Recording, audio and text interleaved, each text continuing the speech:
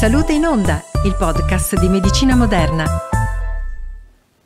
In questa puntata di Salute in Onda parliamo delle patologie andrologiche under 20, dunque quelle patologie che colpiscono i giovanissimi di sesso maschile e lo facciamo con il dottor Massimo Capone, specialista in urologia che oggi è qui con noi. Bentrovato dottore. Buongiorno a tutti.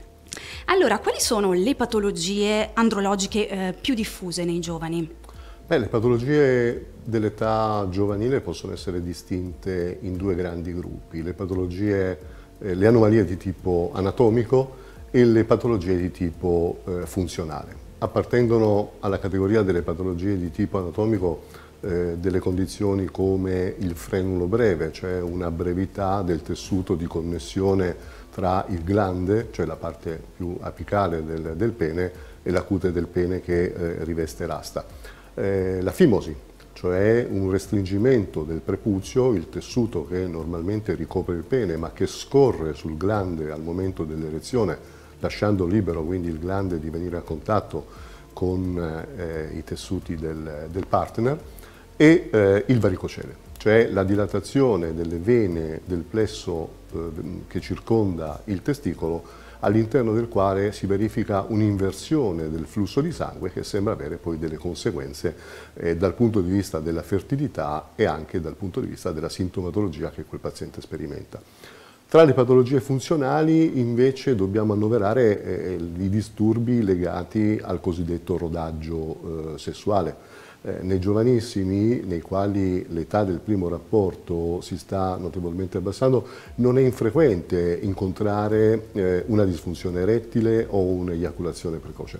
Sono disturbi che legati sostanzialmente all'inesperienza dei giovani che non ricevono evidentemente un'educazione sessuale adeguata per motivi molto vari, e, e che quindi eh, vanno in, uh, incontro a una problematica di tipo eh, psicologico nel momento in cui le cose non si verificano al momento dei primi rapporti secondo le aspettative. Ecco, come lei ha detto, appunto, le patologie sono uh, varie. A oggi c'è una consapevolezza diversa nei confronti della prevenzione, però sappiamo che uh, l'uomo, il, il, sesso maschile, uh, è un po' restio nel uh, fare delle visite quando magari uh, c'è uh, la necessità di fare una visita o comunque insomma anche di controllo. Ecco, quando è che si dovrebbe fare la prima visita dall'andrologo?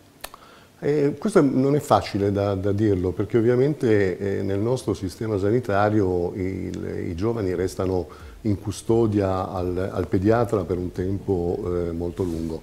Però ecco, l'accertamento eh, di un'anomalia dei genitali dovrebbe essere fatto molto precocemente, eh, soprattutto perché le patologie eh, anatomiche hanno spesso dei eh, risvolti psicologici che vanno sotto il nome di dismorfofobia e che poi condizionano il vissuto eh, sessuale di quell'individuo molto spesso anche negli anni a venire. Quindi l'individuazione di una fimosi o di un incurvamento del pene, che è una patologia eh, congenita altrettanto frequente che prima era, era stata, mi era sfuggita, ma che sicuramente eh, incide notevolmente, hanno eh, necessità di essere corretti precocemente e tempestivamente, possibilmente prima dell'inizio dell'attività sessuale, per evitare che vadano poi a impattare negativamente sul vissuto sessuale che va via via elaborandosi con l'esperienza.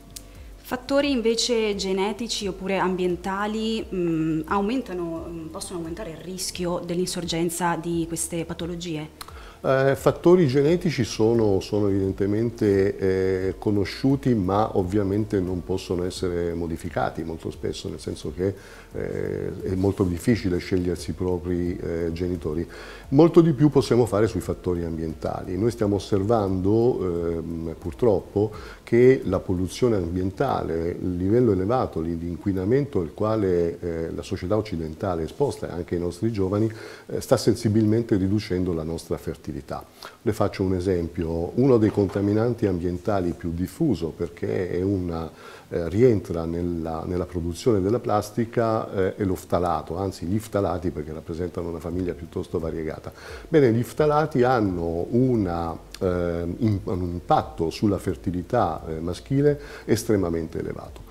Eh, un altro dei fattori ambientali molto diffuso e che è legato alle nostre eh, abitudini produttive, alimentari, eccetera, eccetera, sono eh, gli estrogeni eh, i fitoestrogeni, gli estrogeni usati in zootecnia che entrano inevitabilmente nella catena eh, alimentare e che vanno naturalmente poi a interferire con la fertilità maschile che è regolata prevalentemente dal, dal testosterone, cioè dagli ormoni eh, maschili e probabilmente hanno un ruolo anche nella genesi di alcuni tumori del, del testicolo.